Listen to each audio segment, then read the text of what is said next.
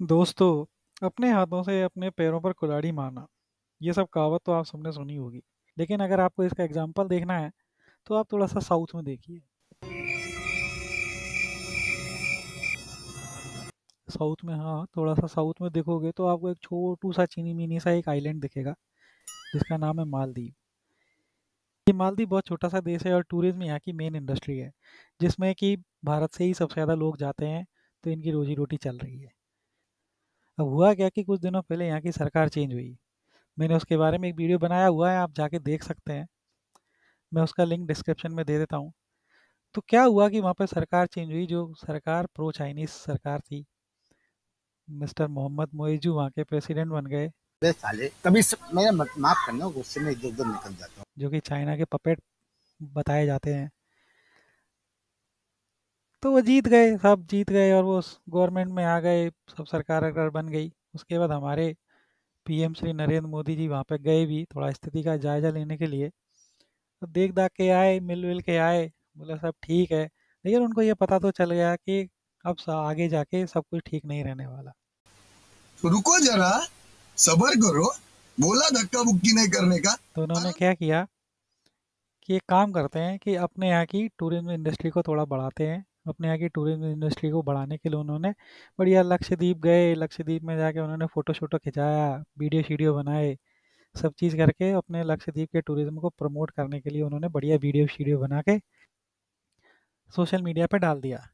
अब वो वीडियो इतना वायरल हो गया कि उससे क्या हुआ कि जो कुएँ के मेंढक कुएँ के मेंढक समझते हो आप? कुएँ के मेंढक जो अपने मालदीव के जो लोग थे, वो एकदम बबूलिया गए, वो एकदम भड़क गए। उन उनके तो दिमाग ही सटक गए, ये क्या हुआ?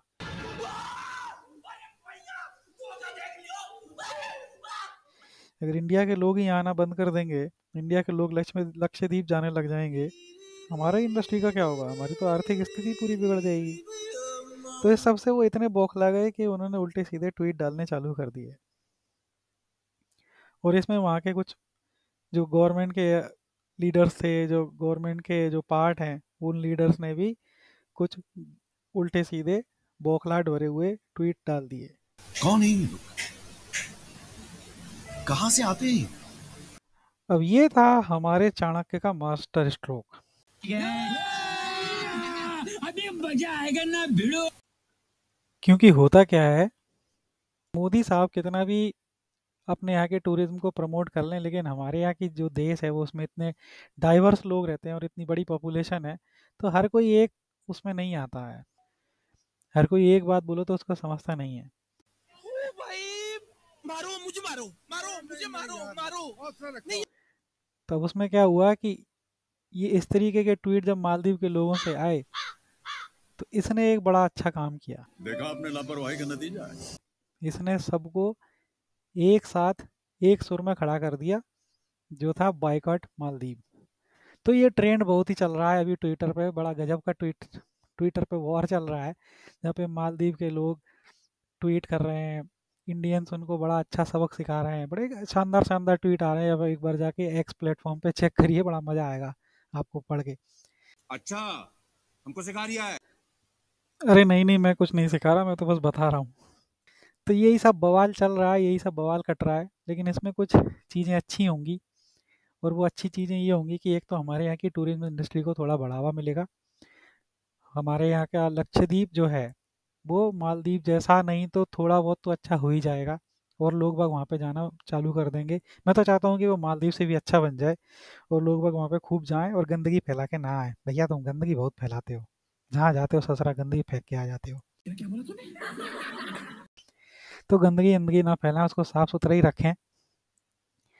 और जाओ घूम फिर के आओ, बढ़िया है। अपने अपने देश का पैसा अपने देश में ही रहेगा, तो अपने देश का ही विकास होगा।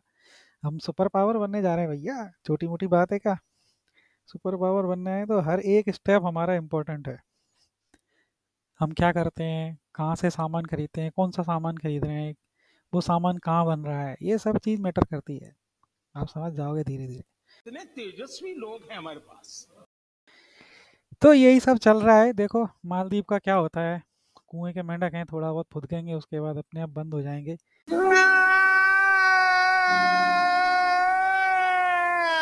उनकी सारी डिपेंडेंसी तो इंडिया पे ही है।